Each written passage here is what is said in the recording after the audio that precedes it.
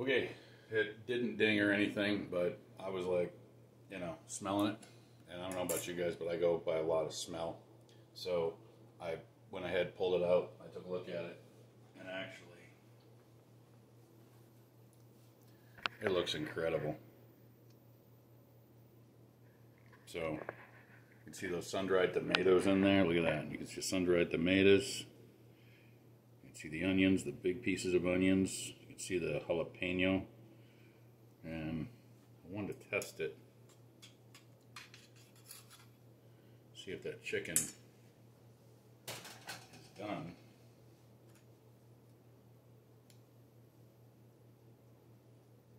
Oh yeah, barely. Here, I'll even pick it up.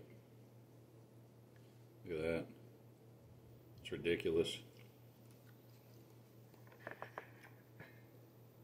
Oh my god, that's good. I'm such a goof. Um, and I don't care. Alright. So what I think I'm gonna do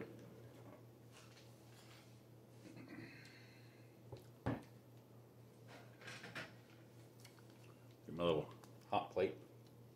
It's supposed to be a wall hanger, but I use it because these countertops are crap.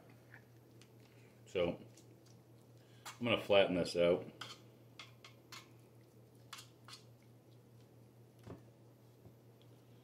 Try and get it as flat as I can.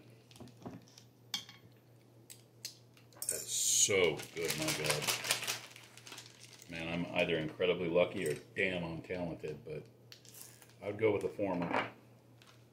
All right, we're gonna just throw a little bit of cheese on top of that. They really don't give you a lot in there. Okay. So, we got like 10 kits in here.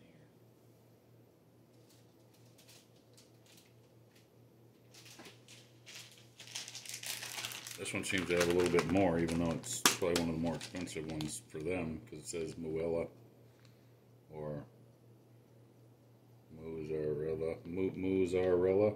Okay, that's that's just geeky. Mozzarella. That's just totally geeky. All right. That's probably why I like it. Anything geeky, anything nerdy. Dude, sign me up. Speaking of signing up, I'd love to sign up for a couple of shark classes, like, you know, where you get in the tank with them. You know, they give you the cage. That'd be fun. That would be my best life.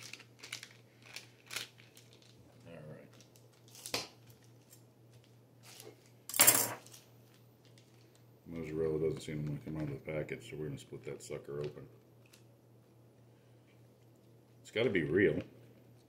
This stuff is really moist. I mean, like really, really moist.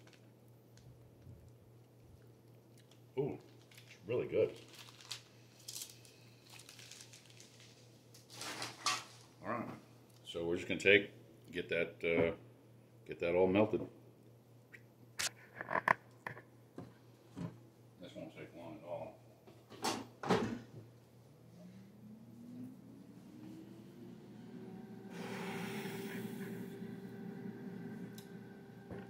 It is what it is.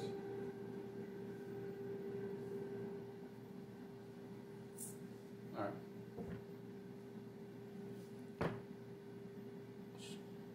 Show you what I got when I come back.